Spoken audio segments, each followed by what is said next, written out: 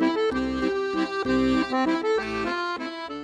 Jsme Bordeaux Chateau Krabité. Jedná se o apelaci Graf, která se nachází na jih od města Bordeaux v lokalitách kousek od Pesa Leonian, kde nám bude bydlet i, nebo kde, ne, kde vlastně bydlí i to nejprestižnější víno z eh, první pětky, eh, Chateau Aubryon.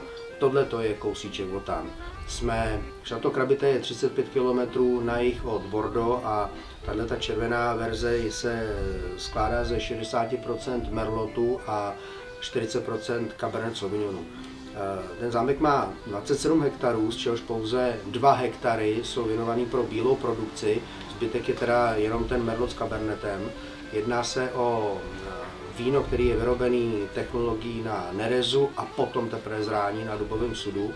Na tom nerezu je to zhruba 20 dní, kdy probíhají ty macerace a při nějakých 25-28 stupňů, což je nízké, aby se tam udržely ty aromatické látky, to je příjemný. A vlastně potom následně to jde na rok, na jeden rok, do barikových sudů francouzského dubu, kde je třetina podíl nového dřeva.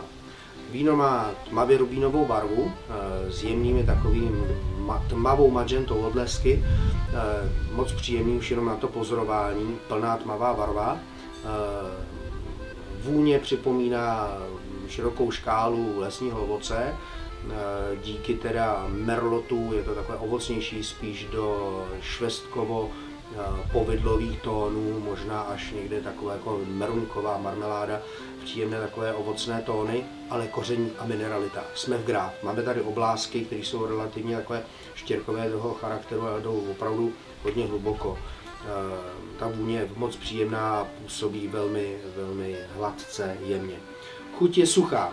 Merlot který má příjemnou eh, tanickou texturu, všechna vína z Graf mají taniny, které jsou takové jako pevné, opravdu jako dobře postavené, sestavené víno s pěknou strukturou a vlastně chuť zůstává vždycky eh, suchá s jemnými tóny, přecházící až do černého rybízu, možná ostružin. Když je to víno mladší, to znamená do těch 3-4 let, tak to víno působí ještě trošičku tvrdě eh, s astringentnějšími taniny, svíravějšími a zároveň teda je příjemná ta hloubka, prostě ta mineralita, jak se tam zase v těch jemných slaných tónech odráží potom i v té duchuti. Celkově to víno působí velmi uceleně, kompaktně, prostě jako pevný, pevný hrad.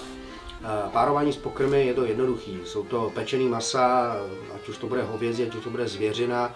Vůbec by se nebál klidně pečeného kachního prasa, konfit, Eh, nebo udělaný nějaký omáčce, kde bude mít zase to propojení klidně těch švestek, koření bylinek, rozmarín, tymián, krásně se tam potkává. Eh, Graf umí jemný tóny i lékořice, opravdu jako dotek pendreku, jako až v tom závěru moc příjemný což mě akorát nabádá k tomu použít trošičku badiánu do, do té omáčky. Teplota pro servis eh, zhruba kolem těch 16-18 stupňů méně ani víc není potřeba, je to naprosto ideální a nezapomeňme hodinu to nechat otevřené před samotným servisem, aby se to víno trošku rozdechalo.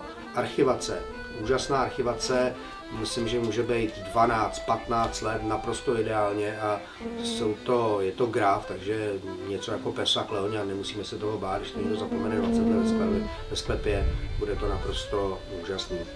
Sklenice, minimální obsah 600-700 ml, eh, velký kalich s obrovským prostorem pro ten projev toho vína. Takže za mě krabité super víno a zdraví.